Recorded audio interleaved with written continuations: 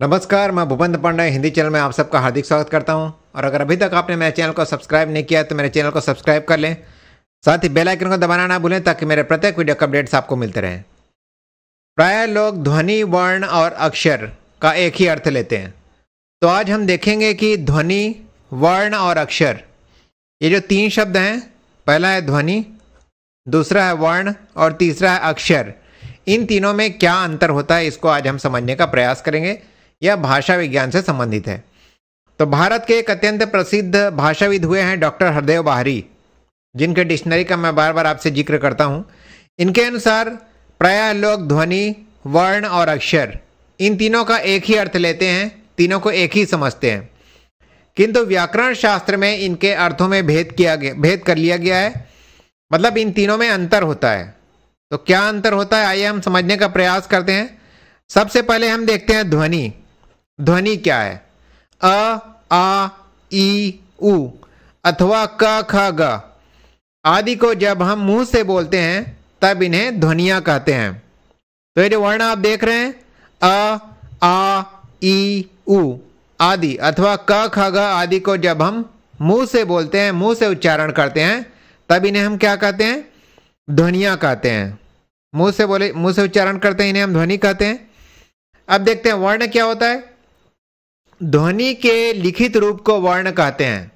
ऊपर हमने जिन ध्वनियों का उच्चारण किया, उनको जब हम लिख देते हैं, तब उसे हम कहते हैं वर्ण। वर्ण को ध्वनि चिन्ह भी कह सकते हैं।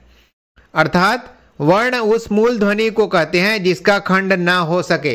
लेकिन एक बात आपको ध्यान में रखना है, वर्ण को और छोटे खंडों में विभाजित नहीं किया जा सकता।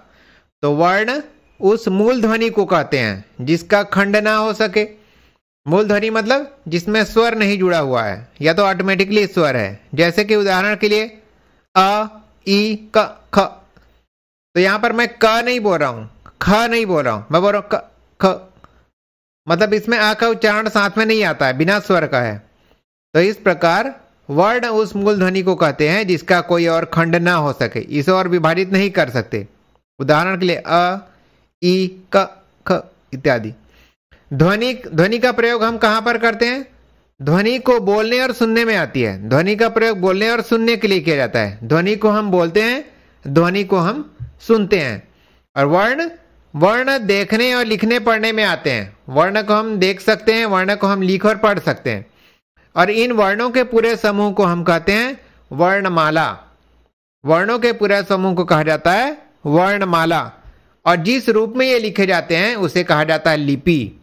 मतलब वर्णों को हम जिन चिन्हों के माध्यम से व्यक्त करते हैं, जिन चिन्हों के माध्यम से लिखते हैं, उसे हम कहते हैं लिपि या स्क्रिप्ट। जैसे अंग्रेज़ी को हम रोमन लिपि में लिखते हैं, रोमन स्क्रिप्ट में लिखते हैं।